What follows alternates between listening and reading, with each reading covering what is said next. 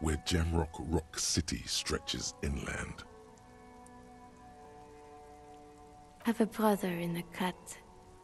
Where the Hudat?